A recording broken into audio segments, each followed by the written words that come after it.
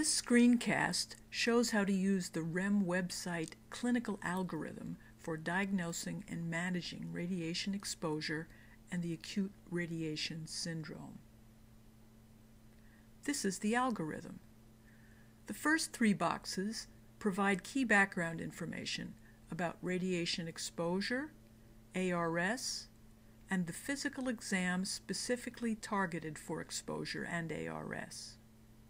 The next two boxes show how to evaluate a patient in detail by using two complementary activities. First, estimating the dose of radiation the patient received by using lab tests and geographic information, and second, assessing the clinical severity of radiation injury by using checklists specific for signs and symptoms of each of the four subsyndromes of ARS.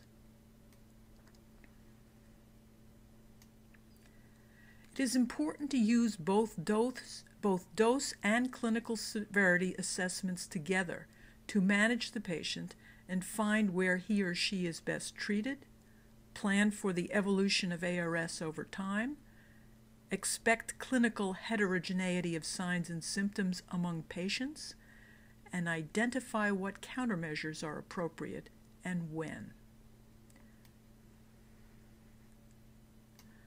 The Management Modifier Caveats box is key. It represents six special factors I should always consider while managing patients with radiation exposure. This concludes the screencast on how to use the REMM website clinical algorithm for diagnosing and managing radiation exposure and the acute radiation syndrome.